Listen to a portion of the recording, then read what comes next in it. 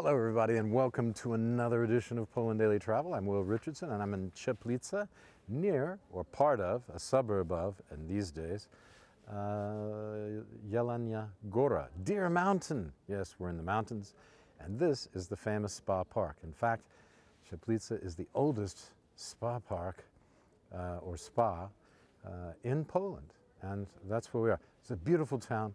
18th century, owned for a long time, since the Middle Ages, by a German family who first had a castle that burned down and then moved, uh, moved over here when uh, some land was, was donated to them by, the, by the, uh, a Maltese knight. What a story. It's very exciting, isn't it? Okay, let's move on. We're going to go through the park and show you a few things uh, that are going on there uh, in the Spa Park. I'm seeing it for the first time. I didn't even go and do reconnaissance first. Vova did. He's behind the camera, of course, but I didn't.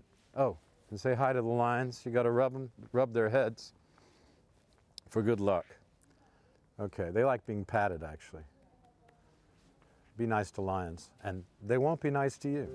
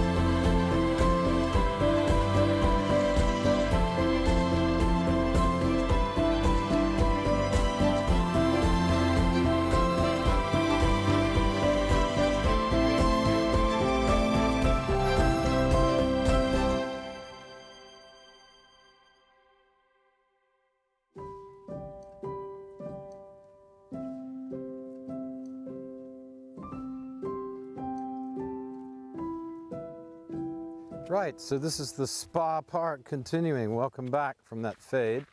And uh, here's the palace, which is on the main street. But here you can see it. Let me get into the sun so you can see me. Uh, so it's not like uh, film noir. And you should be wearing a trench coat with a fedora and smoking a cigarette.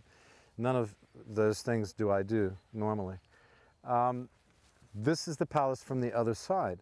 Uh, Main Street is just behind, uh, behind uh, on, on the other side of the palace. And this is the park side. This would have been, this which is now a spa park, would have been a park uh, belonging to the palace. And not only. It was built right at the end of the 1700s, almost the turn of the century. And that was right around the time Poland was being partitioned. Although this was uh, partitioned between the three powers of Habsburg, um, uh, Prussia, and Russia. Uh, although this was, uh, of course, Prussia, southern South Prussia, if you will. There was East Prussia to the north, stretching towards Lithuania. Now, uh, it was built, uh, you know, in, in the two, with the three wings, We've got the two on the ends, very classic 18th century style. It's not quite French, but it's something similar. Now remember this family, the, the uh, family that built this, the Schaffgoftsche, uh, oh, Schatt, how's my, how's my German? Schaft, oh God, look it up. Um, at any rate, uh, the family that built this, a German family, had had the land for